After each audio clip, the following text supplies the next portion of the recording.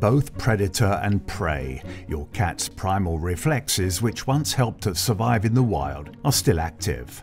Smells and sounds can often be sources of stress when cats are first introduced into a new home. They will either explore their new territory for resources or find safe hideouts to spot dangers.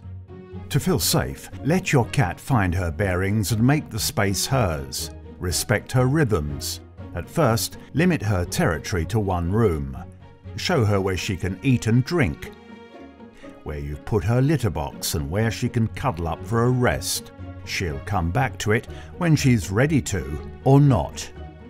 Once she's comfortable, let her explore the rest of the house.